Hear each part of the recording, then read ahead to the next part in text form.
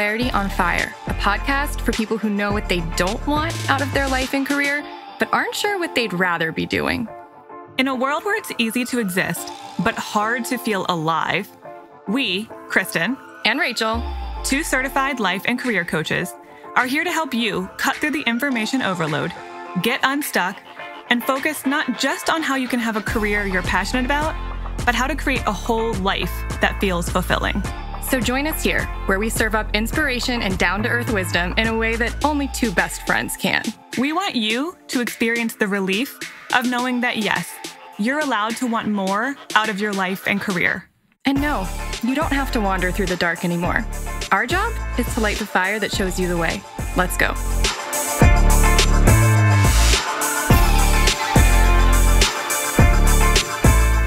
Hi. Hi, we're broadcasting from Rachel's I made, pillow bunker. I made a pillow for it. I can't even see your face because there's so many pillows. I think this is going to really help with sound quality. And I think this is fun. And I won't make you do it ever again, but I want to do it this way for now. Okay. Welcome to an expert interview. We haven't had one of these in a little while, but this is a good one. This is a great one. A very well worth the wait on this expert interview. Would you like to just read Caroline's bio to begin and then we can talk about what we got into with her? Okay. Caroline Garnet McGraw is an author, speaker, and coach who helps women who are really good at doing what they're supposed to do start doing what they're meant to do. She's the creator of A Wish Come Clear, an online community of thousands trading perfectionism for possibility. You Don't Owe Anyone is Caroline's first book, inspired by her viral essay on the Huffington Post. Caroline's writing has been featured on many major websites, including Momastery and Women for One. Caroline has given two popular TED Talks and keynote presentations across the country. She's created several interview series featuring New York Times bestselling authors Adam Grant, Amy Cuddy, Julie Barton, Rachel Macy Stafford, and Tal Ben Shahar. In addition to her work coaching private clients, Caroline has served as a coach for one of Inc. 5000's fastest growing companies. Caroline lives in Florence, Alabama with her family. Um, so we talked to her about this first book that was don't know anyone. many years in the making, has taken many forms, as you'll hear, and is a great big permission slip to people pleasers. Yeah. to stop living their lives for someone else. So I think many of you are going to resonate with this. And we get into some really powerful stories from Caroline's own life on why she needed this book for herself as much as she needed to write it for all of you. You really put a lot of emphasis on powerful. You didn't just say powerful, you went powerful. You went with the P. You really, powerful. oh my God, ew, you almost just spit on me and my mouth was open. You can't even see me through this pillow I can, bunker. I can see three quarters of your face. I can see one of your eyes. That's how. That's how ridiculous this is. Whatever. This is a really good episode. And um I like I said, people pleasers and perfectionists, which by the way, perfectionism is just a form of people pleasing. Yes. And we went really deep. This is not just your surface level. Here's some tips and tricks. This really cut to kind of the core of why we do this and what blocks we have in letting go of those habits. And Caroline is really, she's come a long way in her own journey. I'm not going to spoil where she started because mm-hmm. it's kind of wild. So I hope that you guys will get inspired by this. And then I hope you might read her book. I really hope that a lot of people after this want to go pre order her book because I just think it is so needed right now. I'm also thinking it's probably interesting. There's there must be a few people listening who found us through Caroline because she's actually featured us a couple of times. That's and I true. know some people have come over into our community from hers. So this is kind of nice to be able to highlight her now in reverse. Full circle. Full circle. Share okay. the love. Well, enjoy this conversation with Caroline, and we will be back at the end. Hi, Caroline. Hey, Caroline. Hi, Rachel. Hi, Kristen. I'm so happy to be here. I'm happy too because we have been we have been on some of your shows before, but we haven't had you on our podcast. So it was about time. Yes, it's fun to switch seats. I'm not really sure why we haven't had her on, but I think it was because we were waiting for her to write this book. And we didn't know. Mm-hmm. Mhm. And I, I want to start there a little bit. I you were starting to tell us before we hit record about the process of writing this book. And obviously we'll get into what's in the book, but do you want to give us a little bit of a, a first intro to who you are, but then also what you have gone through to put this book out into the world? Because I think it might be very encouraging to people who have had a big dream for a long time. Mm, thank you. Yes, I'm happy to do that. And sorry if I'm a little bit froggy. I'm just getting over a cold. So if my voice sounds a little stuffy, that's why. Um, glad it's not COVID. I'll take a cold over COVID any Yeah, day. seriously. No kidding. But yes, I am an author, a speaker, and a coach who's really focused on helping people trade perfectionism for possibility. So, what that means is trade those old barriers, those old limiting beliefs for a more freeing existence. And it's ironic because the process of writing this book has been parallel to the journey that I help clients take, that I help readers take, in that I started writing it in 2015. I began writing it as a memoir, and it has turned into a very personal, personal development book, which I'm really happy with the result. But it went through so many different iterations along the way that there were times where I would despair of, is this ever going to be real? Is this ever going to be valuable? Is this is this going to make a difference? And being willing to just stay with the mess and stay with the whole process is so much a part of the book itself, the message of the book itself. It's like it is messy to create your own freedom, but stay with it, stay with it, and good things can happen on the other side. I know that's um that is a hard it's an easy thing to say after the fact. It's Mhm. really hard to stick with something like that for a long time. And, and you said this book is what about six years in the making?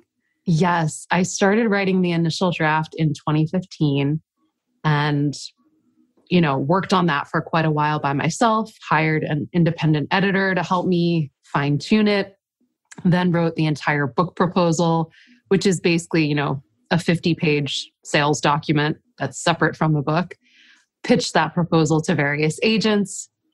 Um, actually, I'll say this for other authors if this is supportive. I pitched 75 different agents. And Wow. yeah. So just in case people hit like five or 10 and nobody has said yes yet, that doesn't mean it's never going to happen. I have a friend who pitched over 100. You know, it's just, it's, it can be a laborious process.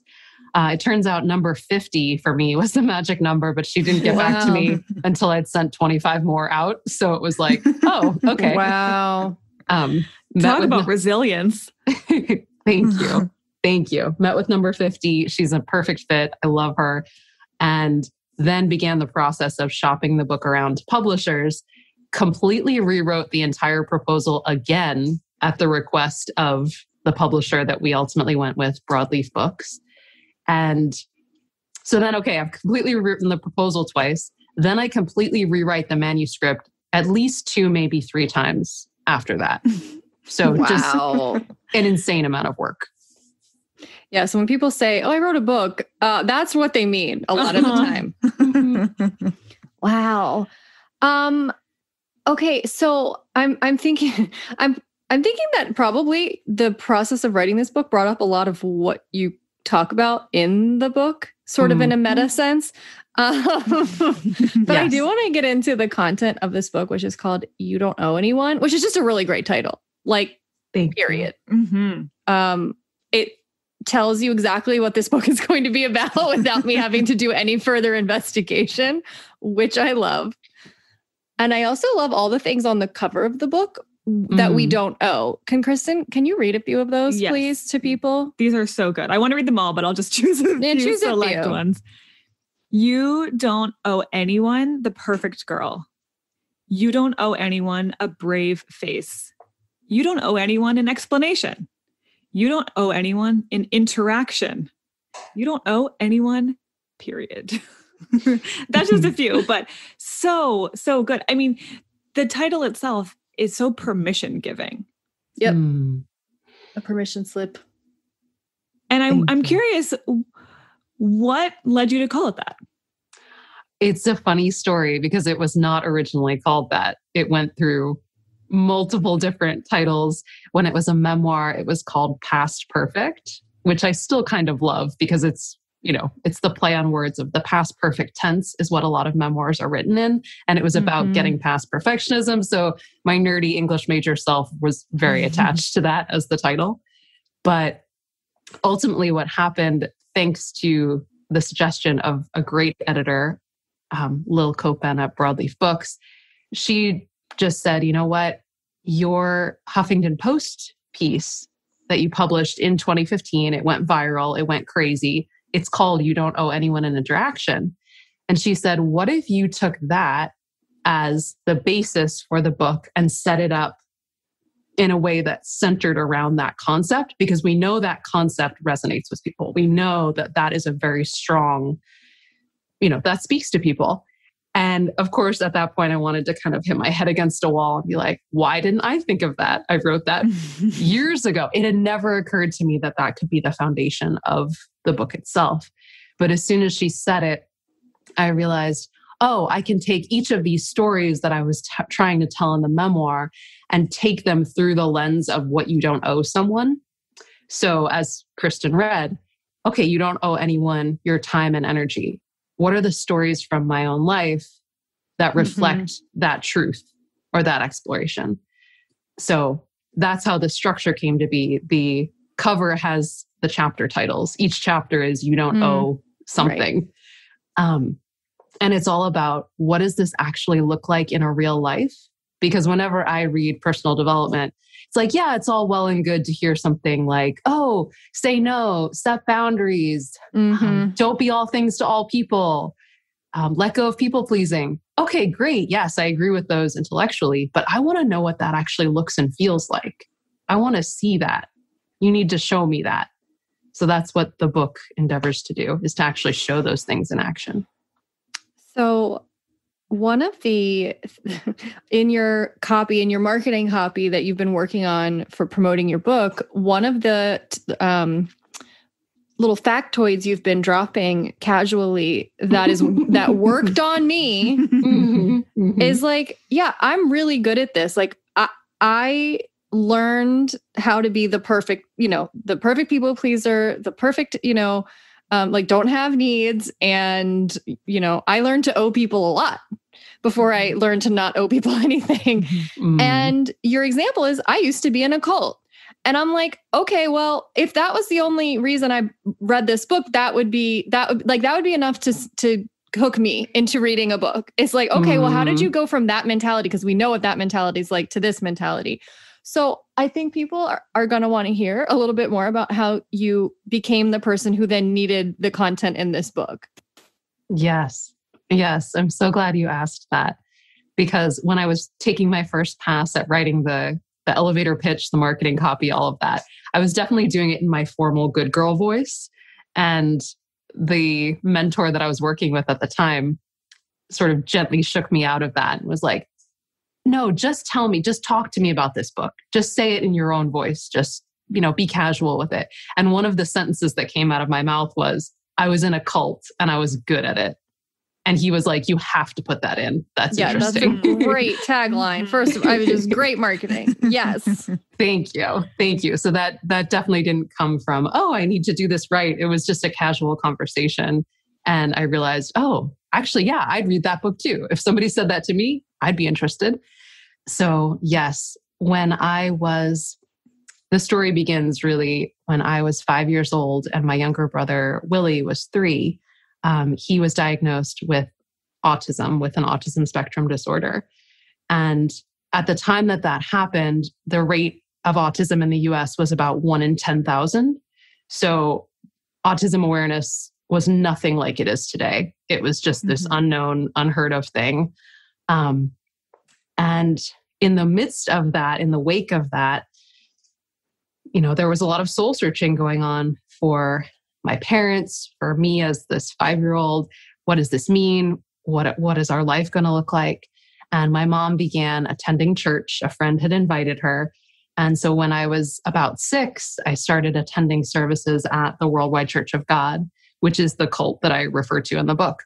So it didn't occur to me until I was an adult, you know, probably in my early 20s, to Google this church that had been such a part of my childhood. I'd attended, you know, from age six until I went off to college.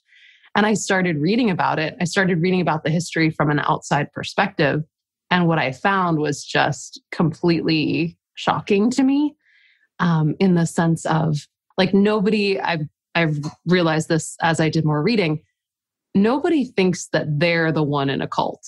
Like you always think it's somebody, it's somebody else. Like surely the people I know and the church that I belong to, surely that could never be some kind of scary like a, a, cult is such a loaded word. It's such a scary big word.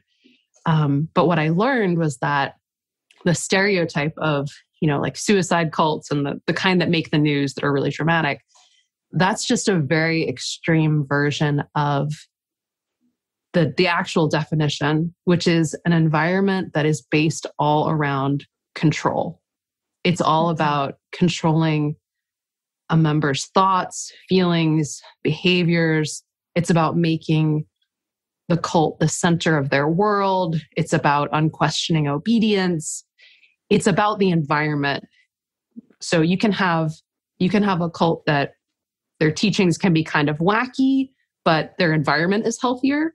Or you can have a cult whose teachings are very orthodox or mainstream, but the culture and the behaviors surrounding them are very dysfunctional and unhealthy. So in my case, it was a pretty wacky set of doctrines plus a lot of relationship dysfunction and a lot of control um, and a controlling environment. But again, when you're a little kid, you take for granted this is just the way things are. This is from age six on, this is what I knew. Um, and so part of the book is a coming to terms with that and an awakening around that of, oh my goodness, letting myself see all of the things that I'd swept under the rug and just said, hmm, okay, well, I know that's kind of weird, but I don't know what to do with that. So, okay, I guess I'm just not going to talk about it. And so for me, part of you don't owe anyone was you don't owe anyone this tidy, neat, tied with a bow version of your story. You can share the messy parts of wow, I didn't know, I didn't understand, and I'm still making sense of all of it. Wow. I know that was um, a lot. no, no, no, no. I love it. Um, and I think what I'm curious about is, and I think I'm asking because I'm like thinking, what is what are other people going to want to know more about? and like you were in that situation from basically the time you have memories, uh, maybe mm-hmm. a little after that. So it completely shaped your the way your brain formed. Like your brain was growing while in that, you know, dysfunctional, to say the least, environment. Yes. So how did it train you? Like, mm. how did you learn to think about yourself as a result of being in that environment? Mm, that's such a good question. Yeah.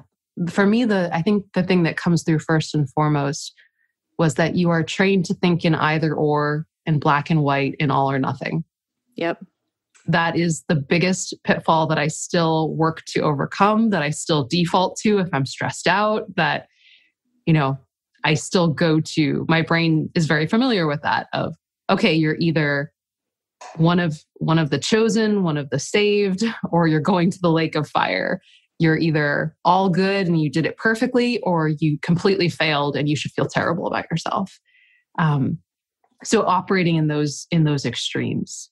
Um, and I think you do make a great point that it's different for a child than it is for an adult in that environment because adults are sometimes a bit better at taking things with a grain of salt of oh yeah they say you know they say to do all these things but you know i can bend the rules here and there but to a right. perfectionist kind of eager to please kid i just saw it as this is what you have to do they okay, you have to fast on this day. I have to fast on this day. You can't wear Halloween costumes because Halloween is the devil's holiday. That's what you have to do. Um, there are some interesting moments in the book, though, where my, I don't know what the word is, skepticism, rebelliousness comes out and I I do question at certain points and at certain scenes, you know, wait, I don't understand why does it have to be this way? And so for me, healing and recovery and overcoming that black and white thinking has meant getting in touch with that part of me that it was always there. It kind of got buried under all of the rules and shoulds and have tos. But that innocent child voice asking, you know, for example, asking my mom, why is it not okay to dress up for Halloween? Because sometimes we play dress up and it's it's just like dress up. Why why mm-hmm. is it mm-hmm. bad? And just having that sense of like, I don't I don't understand this. This doesn't actually make sense. So getting back in touch with with that clear-eyed little kid is mm-hmm. a major mm-hmm. part of my own work and it's a part of the book and the exercises that are in there too. Mm-hmm.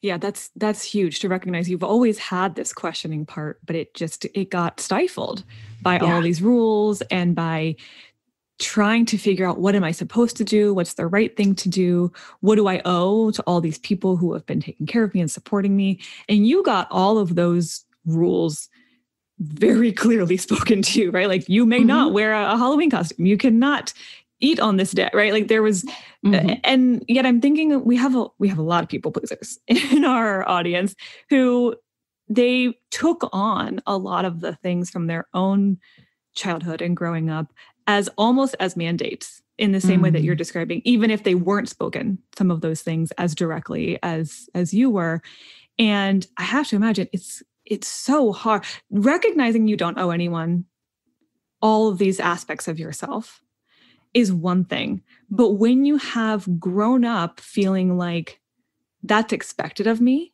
that's what makes me a good person that's what makes me lovable that's what makes me belong and then deciding i actually don't owe that to someone else i i maybe owe it more to myself has got to come with so much discomfort. Mm-hmm. Self, so you feel, much. You feel selfish. You feel yes. ashamed.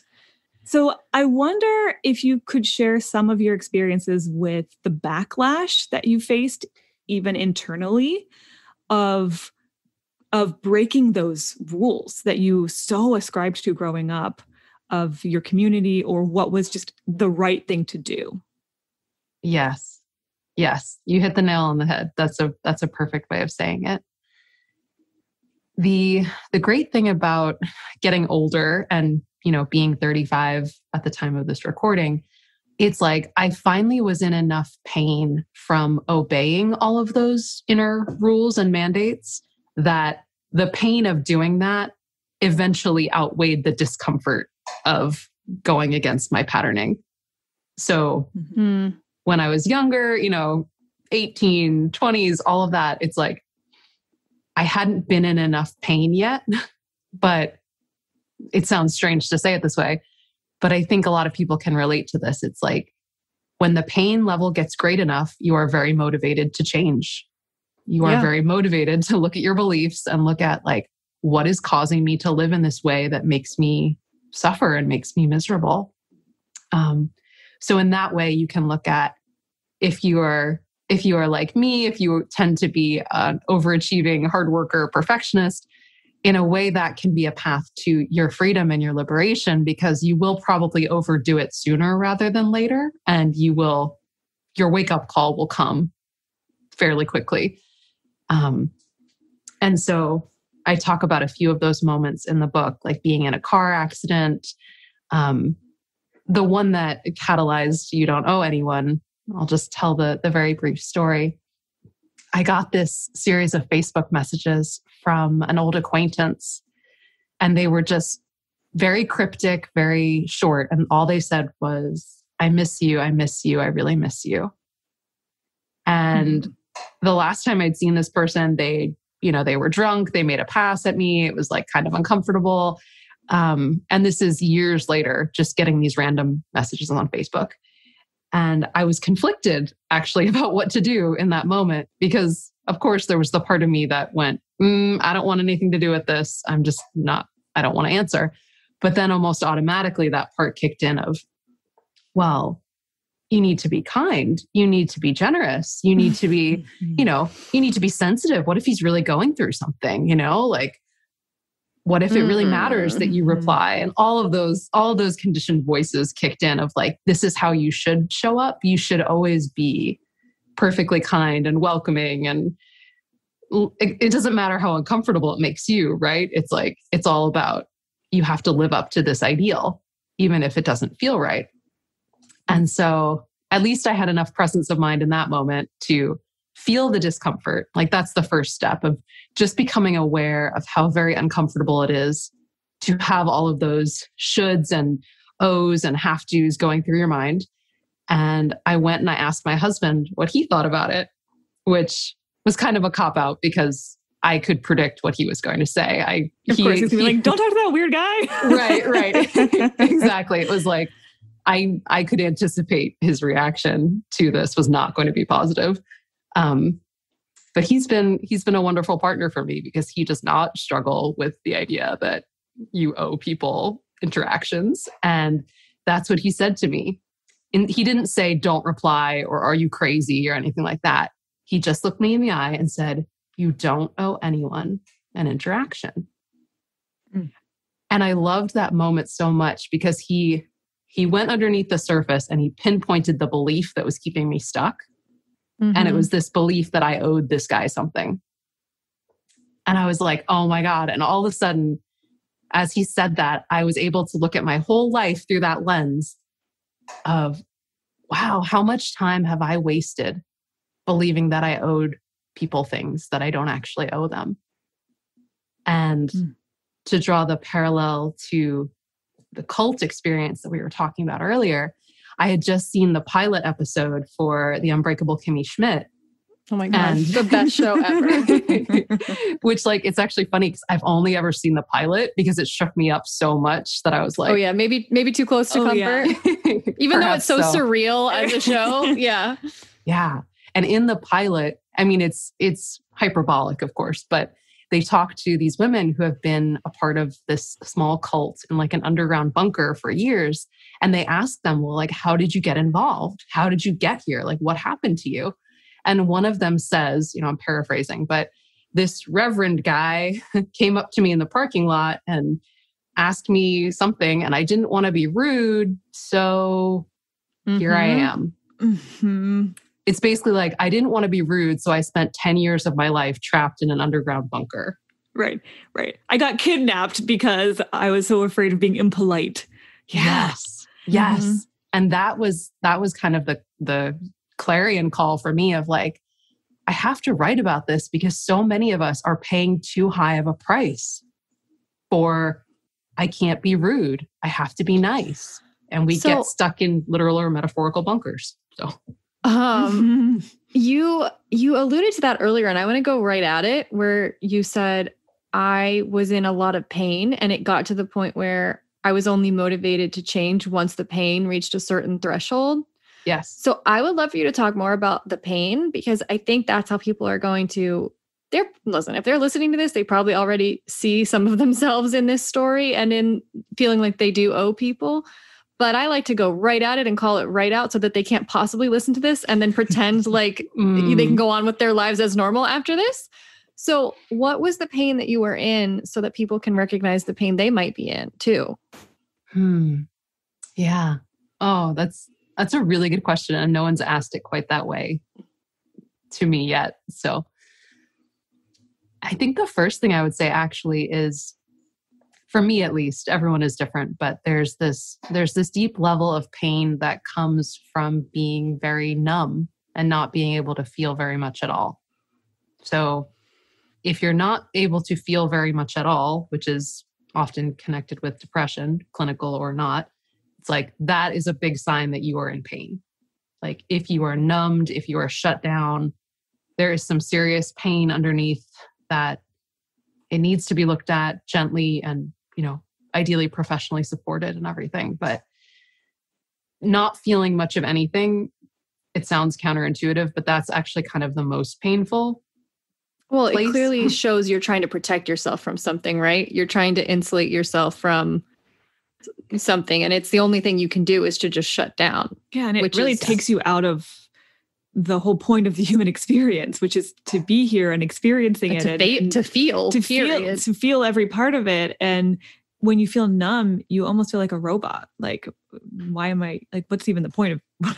I mean, like the big existential questions start to get heavy at that point. Mm. Well, also, I feel like not to take this on a tangent, but I think this is a good tangent. I'm not going to forget the original question, but um, I think that when you know we keep going back to the cult, but like whether you're in a literal cult or you've just been indoctrinated by common beliefs and um, cultural stuff that you've inherited, a lot of the message that we get is that we matter less than other people. Our needs are either non-existent or secondary to that of making sure everyone else has what they need and that they are comfortable.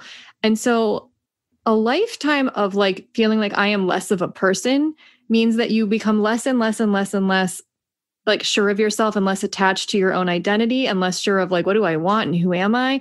And so I feel like it makes you less attached to your pain too because you can't even Mm. realize like if I can't point a finger to what I want or what I value or what makes me me, then I probably also can't recognize why I am in pain.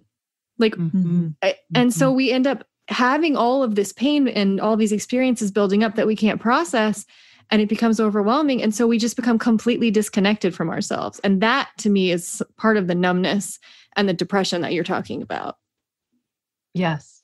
Yes, I agree 100% that it's this vicious cycle of your distance from life, your distance from yourself.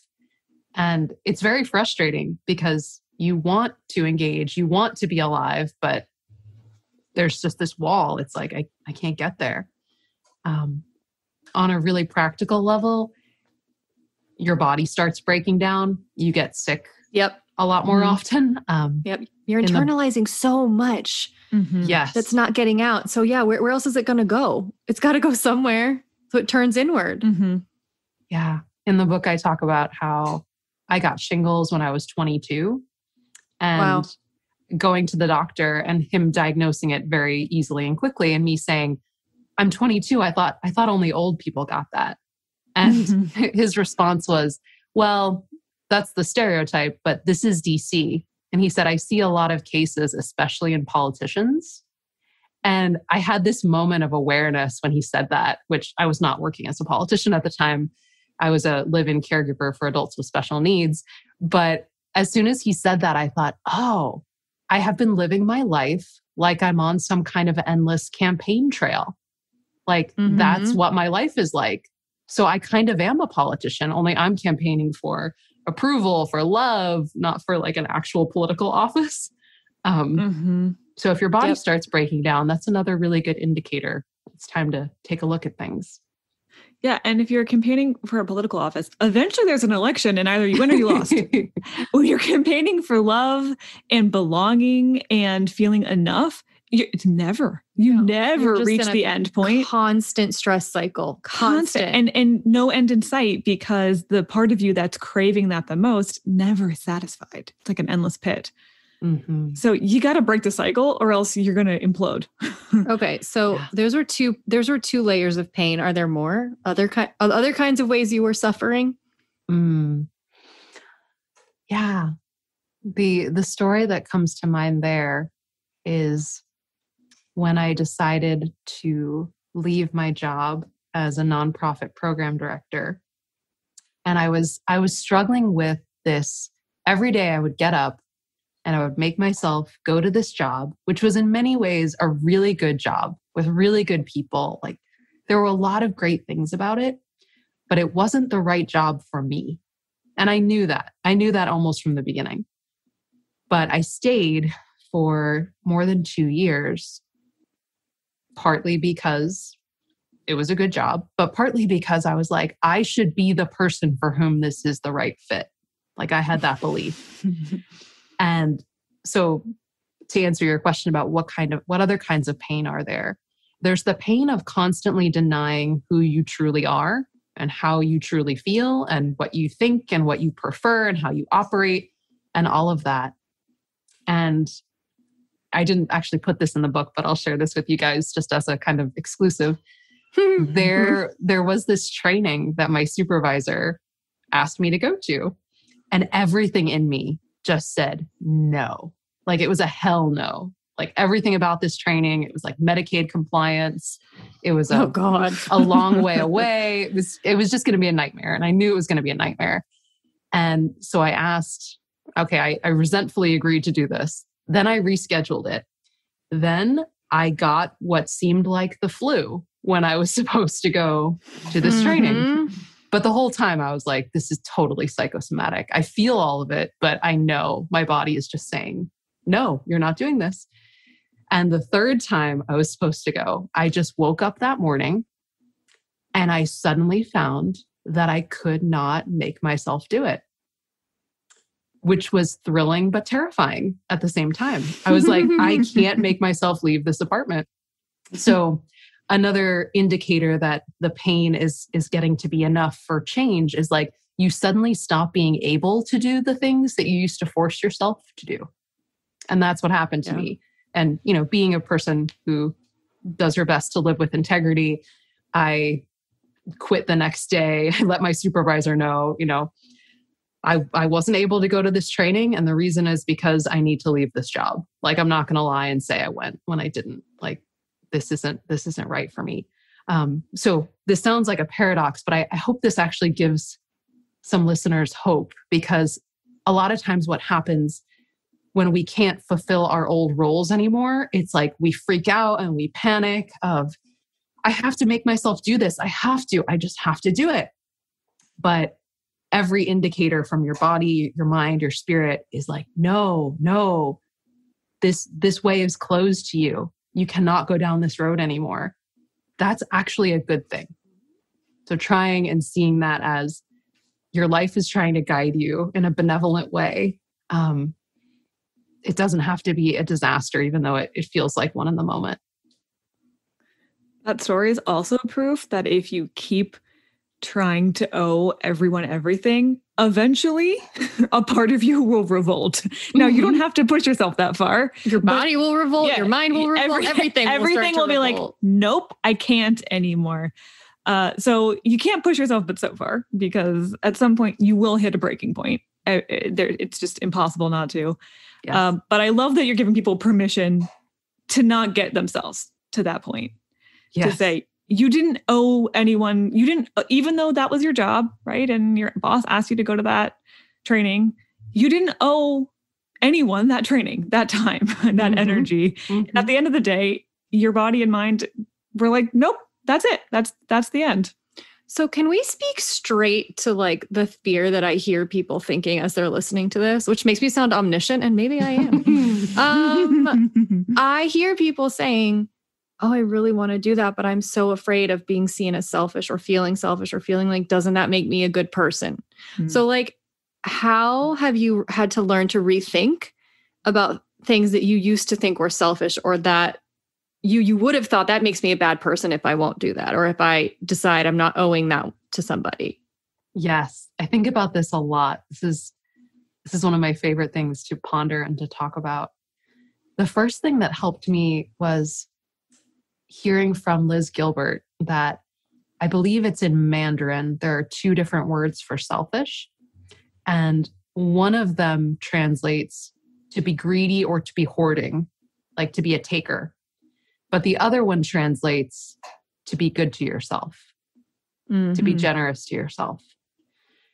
I find that distinction really freeing because if you are actively trying to take things that belong to other people, like if, if you believe other people owe you their time, their energy, their love, Mhm. all of that, yeah, that does qualify as selfish.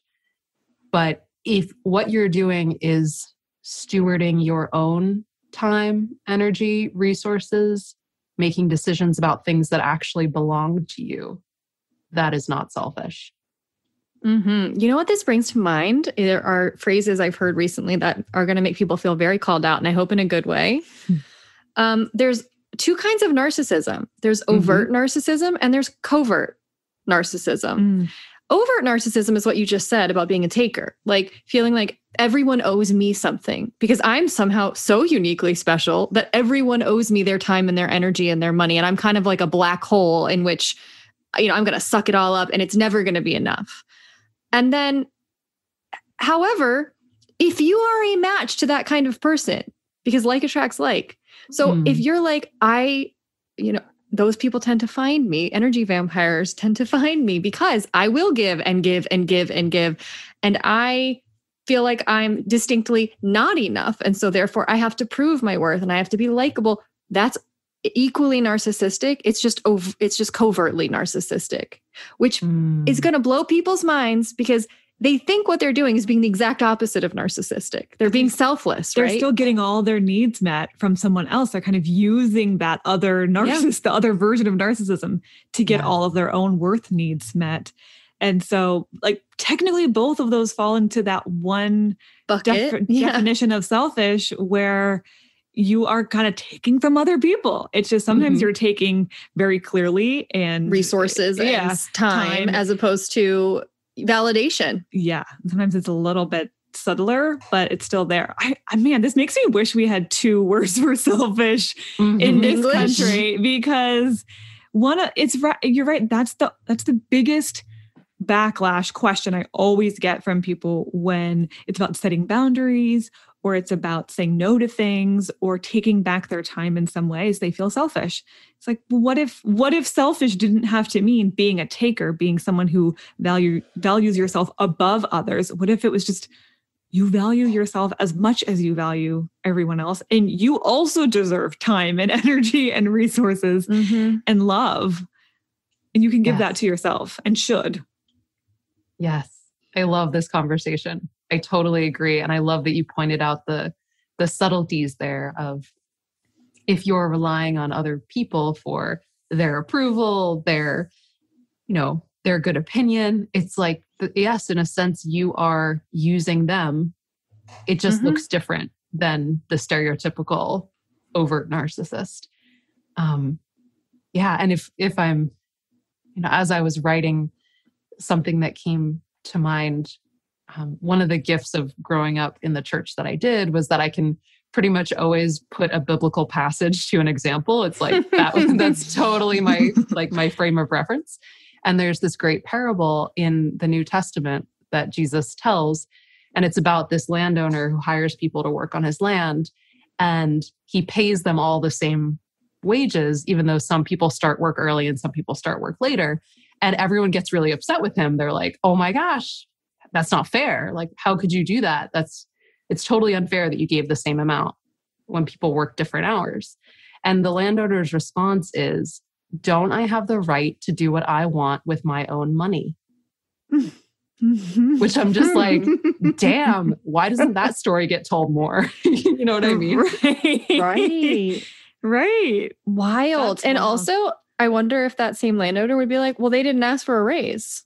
Mm, true. Those people negotiated a different rate with me, and I said yes. yeah. Right and it's my resources and i'll do what i want how i want. That's- yeah i don't owe anyone in other words. And you don't have to work for me if you don't like it. totally totally. Oh, that's great. So, my last, I mean, like I could go on and on, but my last big question for you is I'm guessing that the reason it took you so long to make this sort of transition into this totally new way of existing is that you were so afraid of what the fallout would be and of who you would have to be and all the hard things and all of the discomfort you'd have to go through in order to get there. And I'm sure it did come with that. And I'm pretty sure I know what you're going to say, but I got to ask it anyway. um, was it worse than living the way you lived for like 30 some years of your life? Mm. Oh, yeah. You ask such good questions. I love that you're asking this. Yeah. Yeah. I mean, not that I'm not that I'm gonna keep keep on quoting the Bible, but there's another great line in there that talks about what does it profit you if you gain the whole world but you lose your soul? And like That's a good one, man. The Bible does have some bangers. it's got some gems, right? some tweetables Yeah.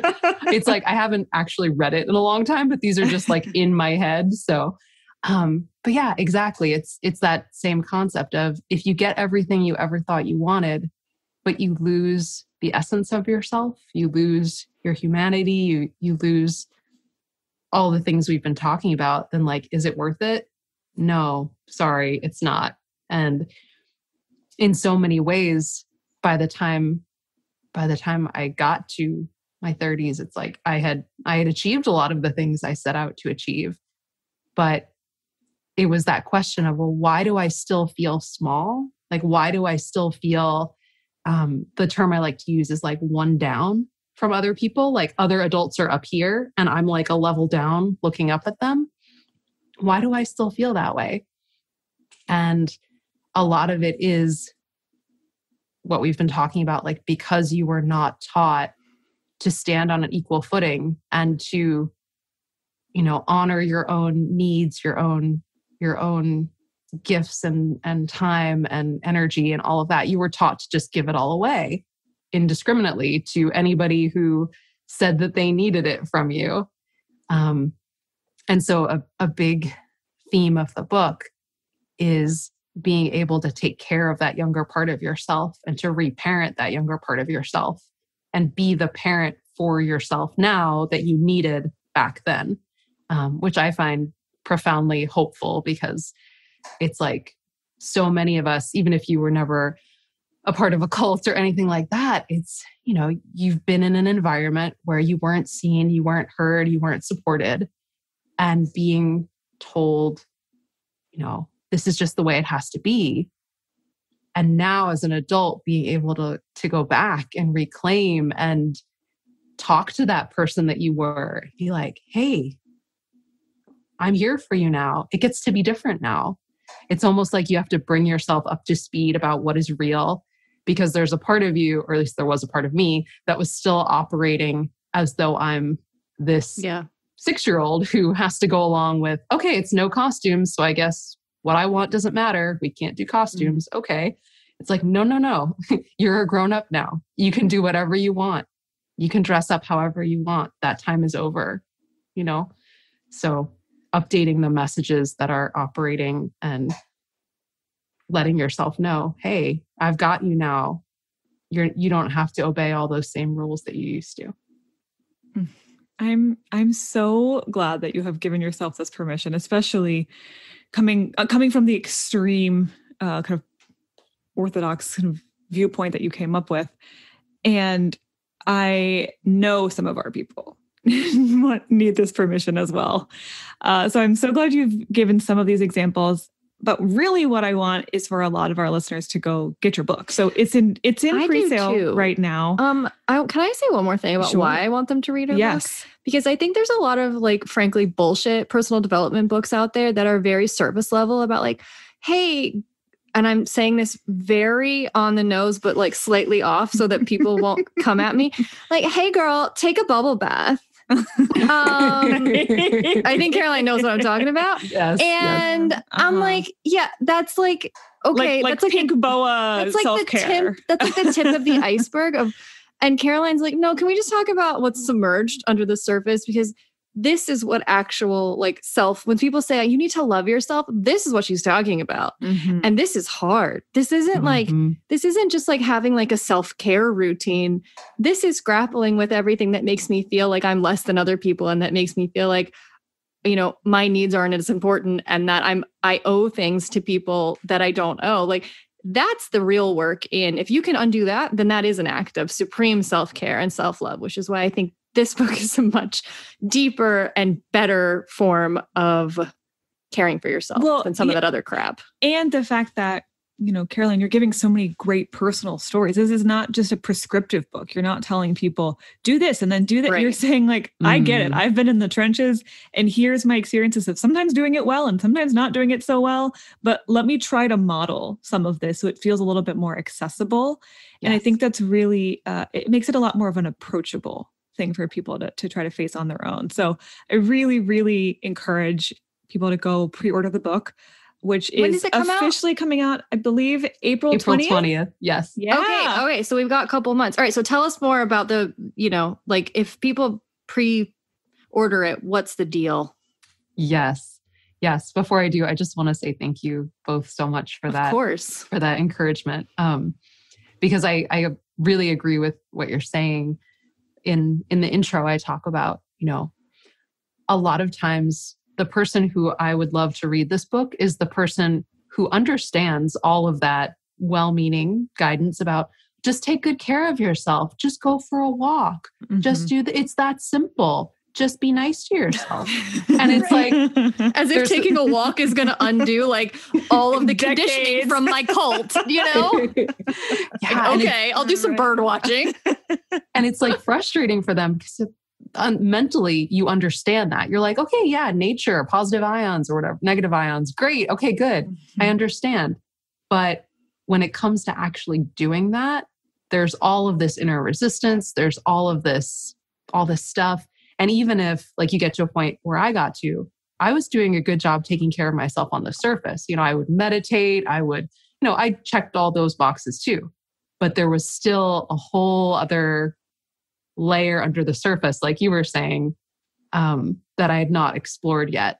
It's like you can do all these practices but if if the heart of it isn't addressed then it's still going to nag at you. So i say that in a hopeful spirit of like if you are a smart person who are who has been frustrated by like but i do all the things i'm supposed to do to take care of myself and i still feel like i owe the whole world and i'm exhausted then this might be a good book for you to read so Mm-hmm. with all of that said, the pre-order goodies, um, if you pre-order the book between now and April 20th, I basically give you my entire virtual library, which includes over 100 expert interviews, including an interview with Rachel and Kristen, and just an interview with Kristen as well, um, as like a you don't owe anyone practical crash course of here's how this looks in other people's lives, not just in my life, right? Because yes, I hope my example is helpful, but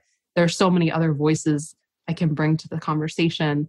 There's also a coaching guidebook where I compile all of the they're called no owe invitations in the book, like suggestions of things that you could try if you find Mm. yourself feeling trapped and stifled and exhausted. Here are some some things that might be helpful to you. So I put that all together in one packet for you if you pre-order. So it definitely makes sense to do that. There is a link in our show notes where you can do that, right? Yes. Yeah. Yes. Um, and you can also just go to our site and hit the podcast tab, and you can find this episode there and look at the show notes. Um, we hope that you guys will band together and read this book um, because just this conversation it, itself was fascinating. It was like a tiny skimming of the surface of what's on offer.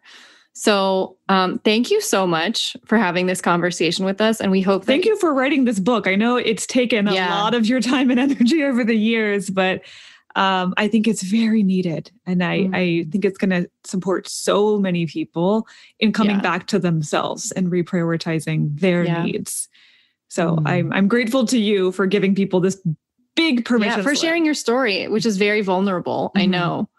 Um, Yes. so kudos to you for for you know what, not owing anyone like I have to write a book that pleases everyone because I'm going to write a book and it might Mhm. piss some people off, and I don't owe them anything. Yeah. So here's my story. Deal with it.